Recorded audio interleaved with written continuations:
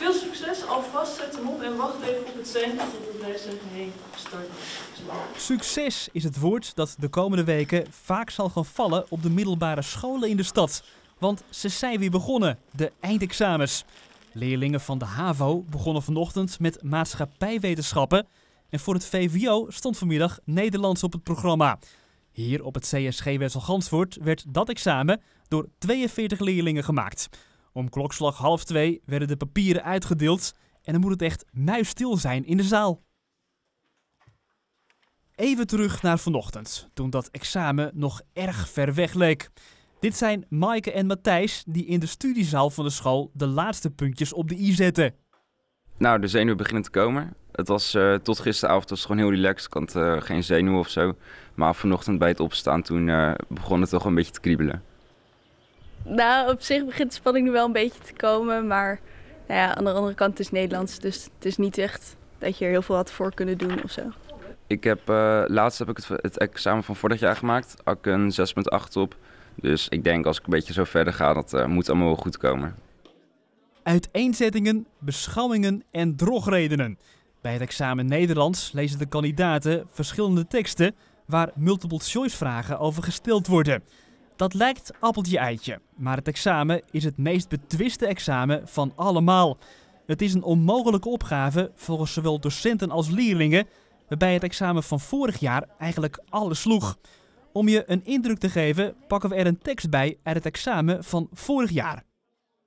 Een eeuw later ligt aan de voet van Observatory Hill een compleet Antarctisch dorp.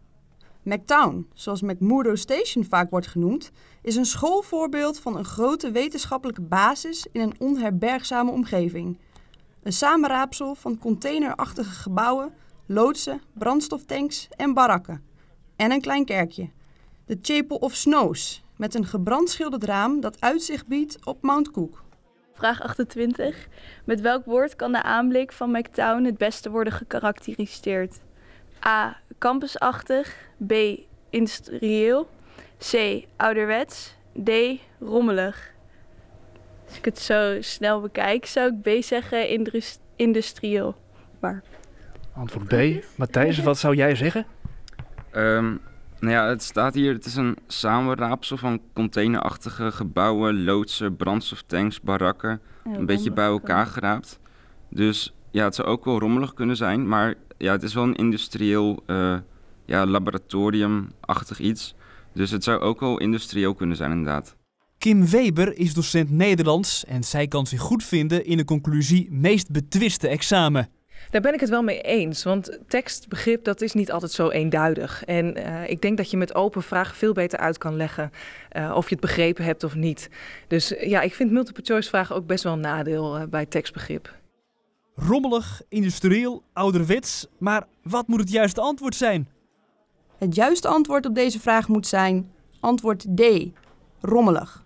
Ja, ik snap het ook wel. Eigenlijk wat Matthijs al zei, je twijfelt dan tussen twee antwoorden koos ik voor het verkeerde. Maar ja.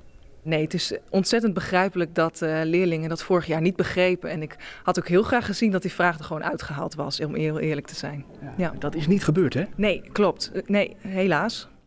Voor Maaike, Matthijs en al die anderen is het hopen dat het examen van dit jaar makkelijker is te maken. Ik heb wel bij het oefenen een paar teksten gehad waarvan ik echt dacht, nou, ik mag hopen dat dat niet op mijn examen komt. Want die waren ook gewoon moeilijk en vaag en niet echt interessant of zo.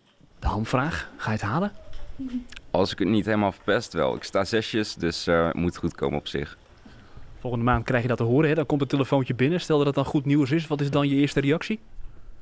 Ja, juichen, vlag uit natuurlijk. En uh, ja, gewoon uh, met delen met vrienden en zo. Dat gewoon een groot feest bouwen. Maar eerst te wachten op Engels, wiskunde, geschiedenis, natuurkunde en al die andere examenvakken. En hopelijk kan er over vier weken dan echt feest gevierd worden.